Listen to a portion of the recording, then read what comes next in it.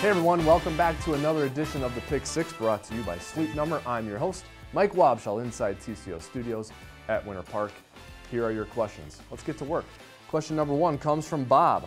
Does new offensive coordinator John DeFilippo already have a playbook, or is that something in progress and not finalized until preseason or week one? Well, the playbook, remember, is always in progress. But one of the first things DeFilippo is going to do is take a look at what the Vikings did well last season.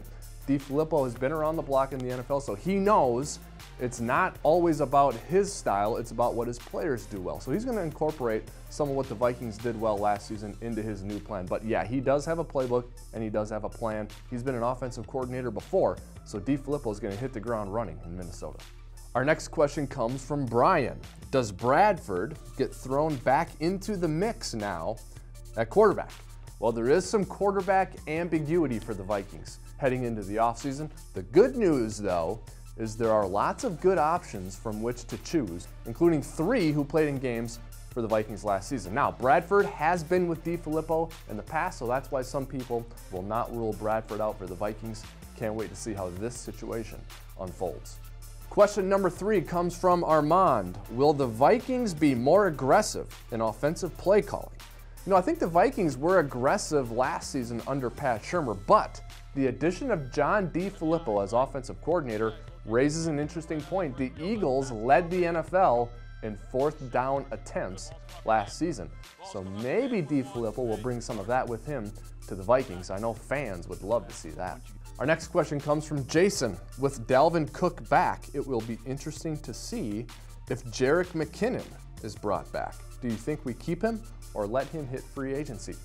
Well, I love the Vikings' look at running back last season at the beginning of the year, that three headed attack with Cook, Latavius Murray, and McKinnon. Look at the Eagles and the Patriots, the two teams in the Super Bowl. They both used three running backs. So it's a good look for the Vikings, and it would be awesome if the Vikings could find a way to retain Jerick McKinnon and put him in the backfield with Murray and Cook in 2018.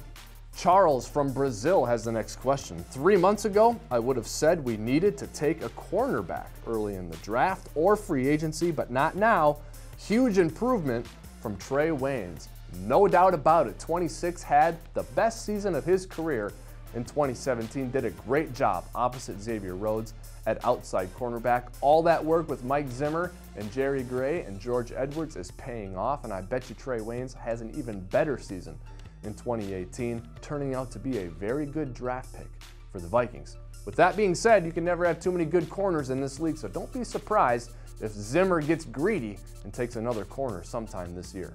Our final question comes from Corey. We have seen all of the mock drafts.